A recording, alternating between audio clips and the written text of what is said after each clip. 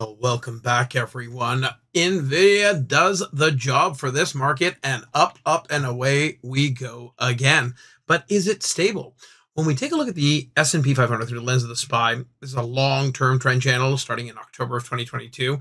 It is also a statistical channel, giving us an idea of how far away we are from what would be considered normal. Normal being the center line or the regress line. When we look at the current price action, which did not make a lower low, has pushed out, made a higher high. The market is telling us that this gap is filled, but will it actually continue to go? Or is this just a back test, gap fill, and a resistive area? Back down we go. Well, technicals can help with this. We should take a look at NVDA. It is a very large range at the hard right edge after breaking out above previous highs. Now, that happened back at the end of October. And we had some wild moves in the stock, making new all time highs intraday today. Now, the stock itself is at a high area that it's been at. The market is taking this ball and trying to run with it. Again, can this market give us a higher all time high?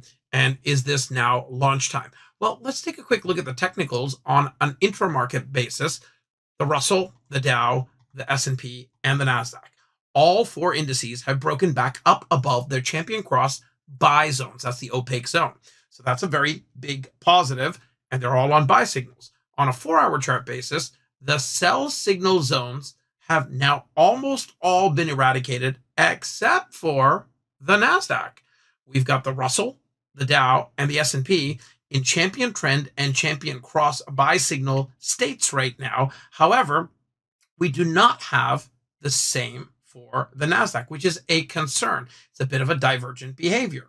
It's trying its darndest to push up. So in order to take the amalgam of the types of things that are held in all of these major indices, we look at the S&P for guidance, and I'm going to break that down into a multi-time frame view. And what we see here is the daily chart, what we looked at. It's looking good. The four hour chart is looking good. In terms of the subcharts, I want you to focus in on the Spike 2.0 tool over here. You can see that green line, the slow spike, moving up above the top of the channel. It's in a very bullish state. This is strong momentum. However, that strong momentum doesn't tend to last for very long.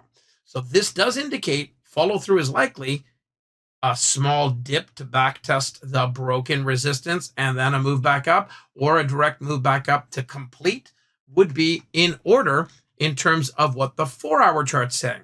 Now, we do know that that pullback is likelier when the one hour chart is near the end of its champion trend pack sequence of signals, champion trend, champion cross, wealth signal, and breakout forecasters. We haven't had a breakout forecaster for the last two hourly bars, the current and the last.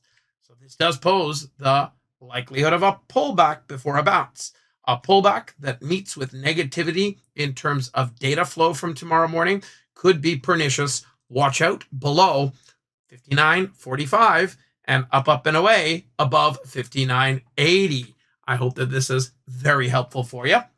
And I'd like to share an amazing session that was done today with Dr. Keith this session was raved about, and he's going to be coming back and doing it again.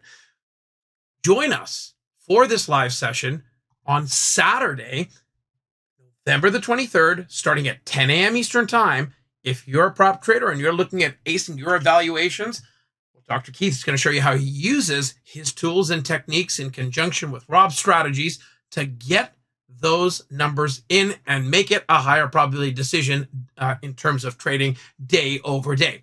Go to becomebettertrader.com forward slash yes and get your seat. It is not a recorded event. Looking forward to seeing you there Saturday, November the 23rd at 10 a.m. Eastern Time. Bye for now, all, and have a wonderful rest of your day.